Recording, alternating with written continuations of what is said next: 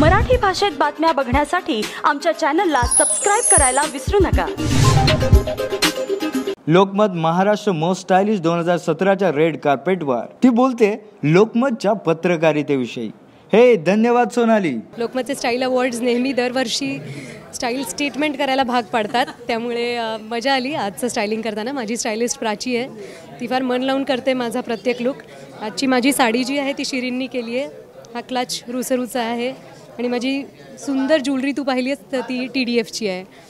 पण तू माझी style which विचारशील तर मला नेहमी क्लासिक स्टाईल आवडते जी टाईमलेस असेल. पण त्याहीपेक्षा मला आवडतं ते माझ्या माझ्या कामातली स्टाईल माझं प्रत्येक कॅरेक्टर वेगळं करायला मला खूप आवडतं त्या कॅरेक्टरवर काम करायला मला आवडतं.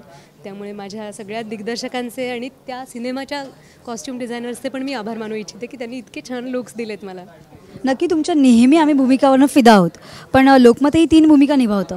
सांगा गॅस करा कोणत्या? कमॉन तुम्ही तुम्ही लोकमतचे family member come on you should be लोकमतची आपली अ, वर्तमानपत्र आहेत. त्याच्यानंतर अ, लोकमत अ, चं चॅनल पण आहे. आणि तिसरं?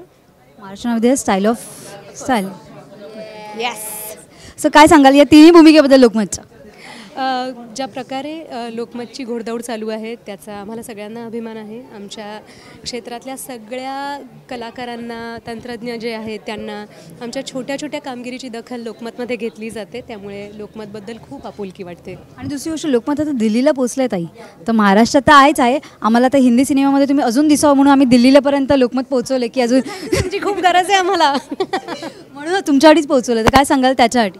त्याच्यासाठी खूप शुभेच्छा कारण कुठल्याही मराठी माणसांनी फक्त मराठी न राहता नॅशनल आणि ग्लोबल व्हावं असं मला नेहमीच वाटतं जो मी माझ्या कामात प्रयत्न करत असते. तर एक्स्ट्रीमली प्राऊड ऑफ लोकमत आणि अशीच घोडदौड चालू राहू दे. Thank you so much thanks a lot thank you